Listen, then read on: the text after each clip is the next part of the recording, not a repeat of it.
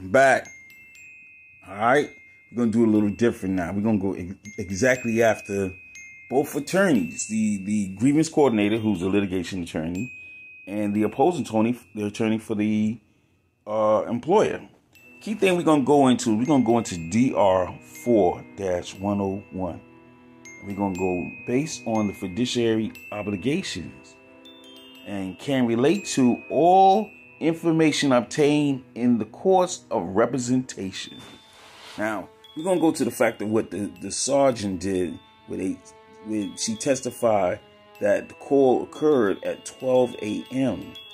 Yet in her written statement that was submitted for the record, prepared later that night, the sergeant wrote that she placed the call to the respondent at 11:45. Now, which one is it? Because that right there is an impropriety, right there. That's an impropriety, wrongdoing, and the mere fact that you wrote it up, that's a violation of New York State Penal Law Code 17530, offering instrument for filing on the record with false written statement.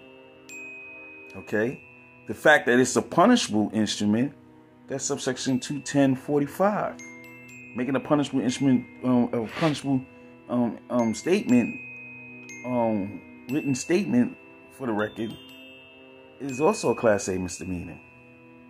Now, the fact that you, you that you got to understand and said it, that's perjury. That's just perjury right there. But we're gonna come down to the employer's um, um, rules and guidelines under the corporate compliance. Fraud means what? An intentional deception of or mis- misrepresentation may be made by a person with the knowledge and the deception. And the deception could result in an unauthorized benefit. That's the key.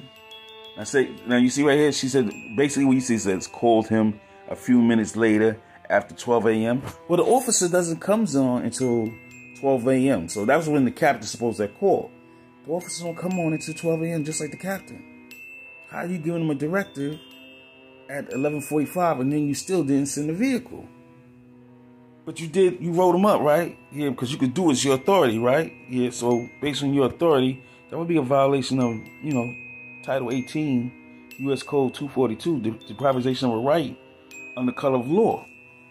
And you know, under color of law, it's not a real law. That means when you breach your contract by your oath of office, you breach your authority. Okay? Then you perjured yourself. And your lawyer was supposed to break it down right there with a client client's perjury. Like I said, use what they use against you. Back